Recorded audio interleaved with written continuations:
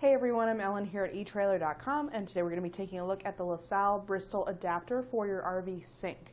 So this is going to let you connect to your RV sink drain and then also connect into your actual drainage system. So it goes from a threaded connection to just that straight pipe connection so you can get everything melded together so you can have your new drain system for your RV sink.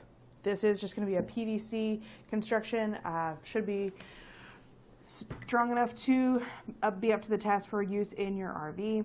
It connects to a one and a half inch hub, so that's going to slide onto your drain pipe. So that's going to be a one and a half inch diameter there.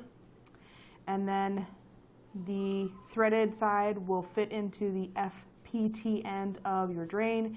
It is designed to work with a couple of LaSalle Bristol drains like this one here. It's going to be one of the drains that's listed on the product page here at eTrailer.com. So that just threads in there and provides that connection. So normally your drains have that threaded end. So this is that place for those to attach into, and then that connection actually goes into the pipe.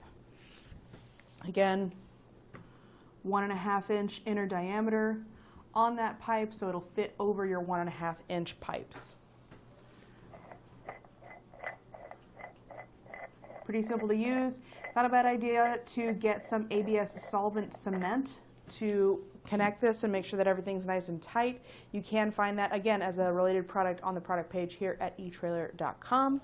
So if you don't already have some, that's going to help to make sure that everything welds together and stays connected even while you're out on the road. But that's going to do it for our look at the LaSalle Bristol adapter for your RV sink. Thanks for watching.